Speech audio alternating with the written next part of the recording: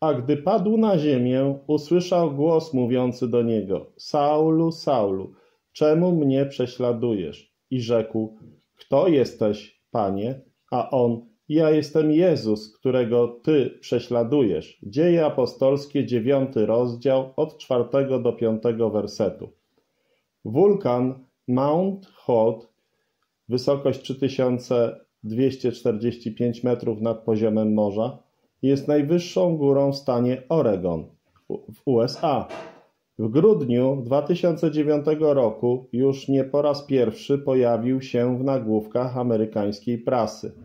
Tym razem gazety informowały czytelników, że podczas próby osiągnięcia szczytu młody alpinista uległ śmiertelnemu wypadkowi, a dwóch innych zaginęło. Należałoby przy tym wspomnieć, że w ciągu ostatniego dziesięciolecia w tym samym miejscu co najmniej 18 osób straciło życie. Co skłania ludzi do tego, żeby w zdradzieckich górach narażać swoje życie? Co sprawia, że jak nakręceni wspinają się na ośmiokilometrowe Himalaje, nie szczędząc wysiłku oraz poważnych kosztów związanych z wyposażeniem, i to wszystko tylko po to, aby postać kilka minut na szczycie w ekstremalnie rozrzedzonym powietrzu, czy poszukują wewnętrznego pokoju, a może pragną sławy, alpiniści osiągają zadziwiające sukcesy.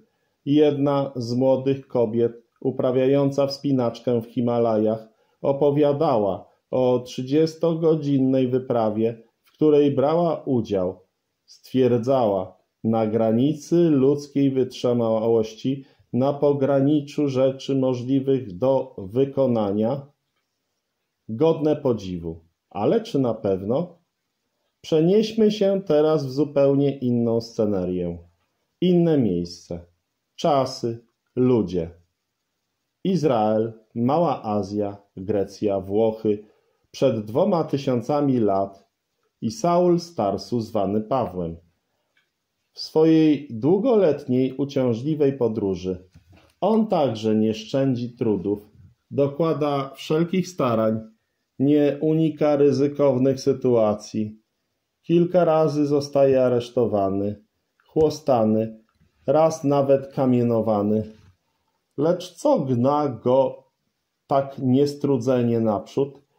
Przeżył on w jego życiu spotkanie z Panem Jezusem Chrystusem, Synem Bożym, który umarł z miłości do grzesznego człowieka. Po jego zmartwychwstaniu Pan Jezus Chrystus poszedł do nieba.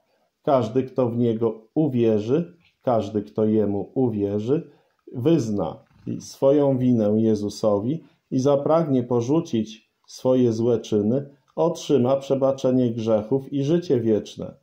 Celem Pawła było właśnie przekazywanie tej radosnej wieści o Panu Jezusie Chrystusie, Zbawicielu grzeszników, jak największej liczbie ludzi.